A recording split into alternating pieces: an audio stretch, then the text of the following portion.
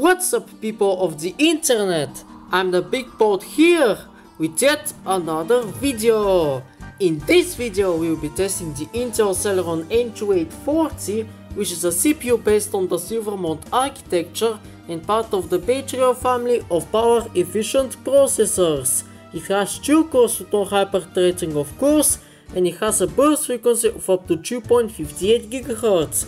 The Celeron N2840 has the Intel HD Graphics Bay Trail as the integrated graphics, which have 4 unified shaders and a burst frequency of up to 792 MHz in this Celeron's case. It's also based on the same Ivy Bridge architecture as the Intel HD 4000, weirdly enough, we're using the latest drivers for it available. We also got 4GB of RAM in single channel mode, as well as a 500GB hard drive for the operating system and a 1TB external one of which the game that we'll be playing today is installed. As for operating system, we're using Windows X Lite Redstone Revival version 2. You can find the full description of the specs in the video description down below. The game that we'll be benchmarking today is Crysis 2, in other words, Canton Crysis version 2 Celeron Kerting Boogaloo. So let's get straight to the point now.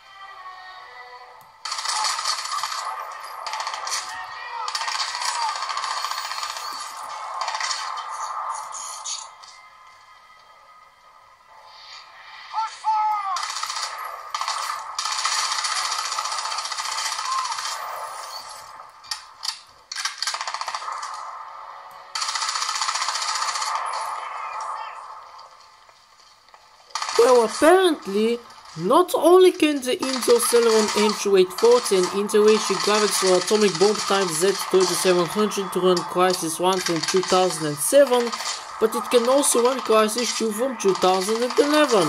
If you consider 13 FPS to be playable, which should be this in my opinion. I mean I finished GTA 5 at 12 FPS with far worse graphics for God's sake.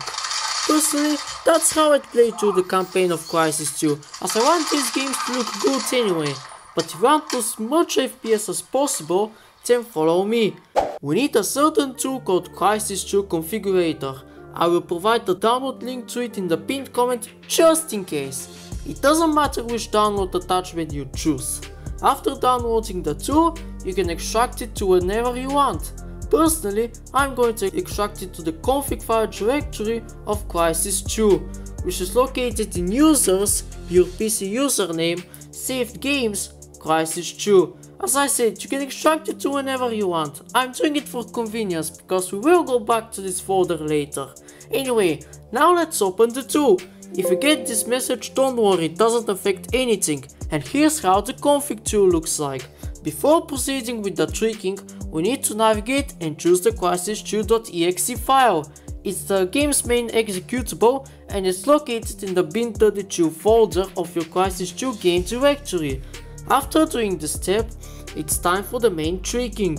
Navigate to the graphics and advanced graphics tabs of the tool and make sure to enable every single option but don't change the values themselves, we need to keep them as they are.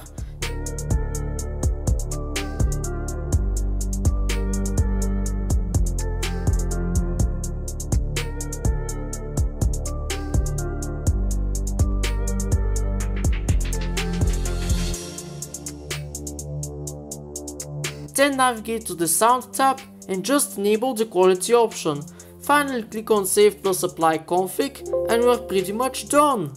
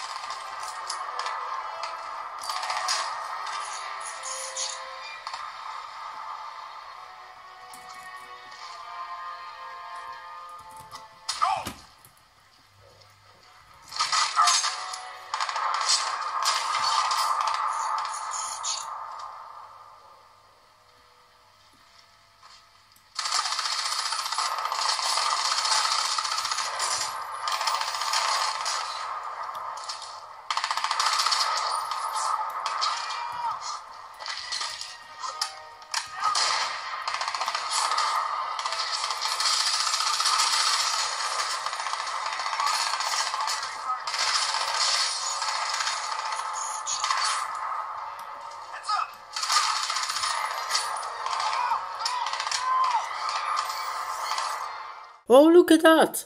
Our FPS with the N2840 are now definitely higher than before. Even if the graphics now look more like Crysis 1 2007 slow graphics than Crysis 2, also there is that weird black screen bug, which occurs during barrel and grenade explosions and also when your health is low. Not too sure what's causing it so I don't know how to fix it, even though it's not a very bothersome error. Please comment down below if you know how to fix this rather strange bug. Oh well, but now I'm going to show you an extra trick for even more FPS. Remember the config file directory when I placed the configuration too? Well, in that folder there's a game.cfg file, which if you open with Notepad, there are height and width values. If you change them to 480 and 640 respectively, in other words, if you lower the resolution to 640 by 480 using that method, you can gain a few extra FPS. So let's also test the game with that resolution.